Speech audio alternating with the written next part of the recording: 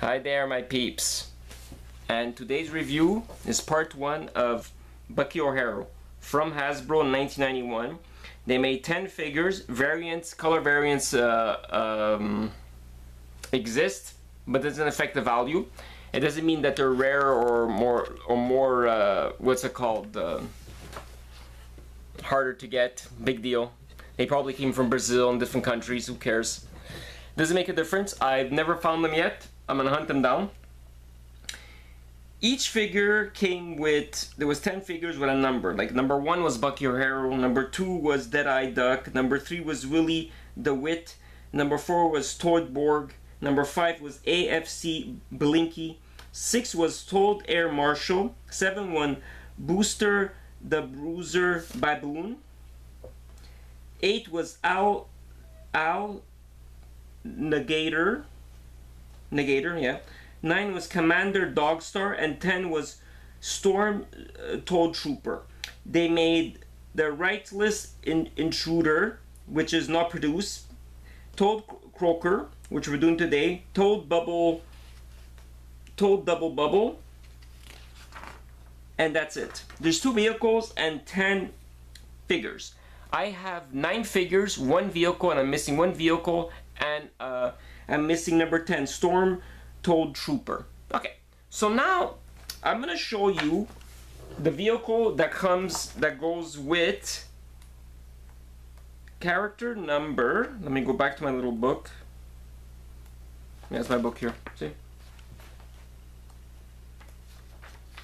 Hello my peeps, I'm getting there, I'm getting there, I'm getting there. I'm, I'm sorry, I'm sorry, I'm sorry, I'm coming, I'm coming. Okay, I want to talk about today Dead-Eye Duck number two. That comes, I, I, it comes with the on the packaging of the Toad Croaker. He's in it, so Dead-Eye Duck plus Toad Croaker, and here he is, Knowles Gory. Here's Dead-Eye Duck. He comes with four weapons, very small. Uh, you could put the weapons right here you, you see there's a peg there. You could put you could put the extra weapons there. I put one there, one there. Comes with two big ass weapons that could go on his arms. He has four arms. He puts two of his own other weapons there.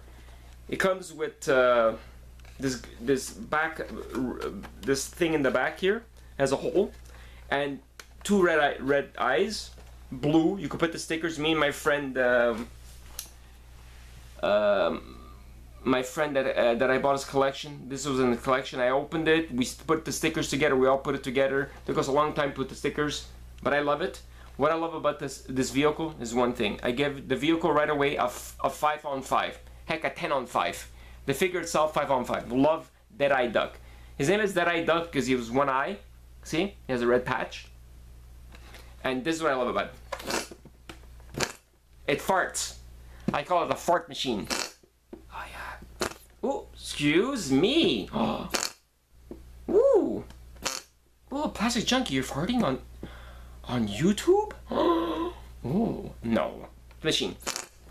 There's a whoopee cushion that comes with uh, this vehicle. As you put it together, it connects with the vehicle and it actually makes air. So like it's exactly like a whoopee cushion. And, and this green piece here it's called the toad croaker. That's why it when it's it's it squashes crow uh, uh, toads and it, it, makes a noise that they, they they when they die. Right? I love it. Uh, like I said, I give this vehicle 10 on 5. I love the line. They were made for kids. It wasn't made for adults, but you know what? It's an easy collection to finish.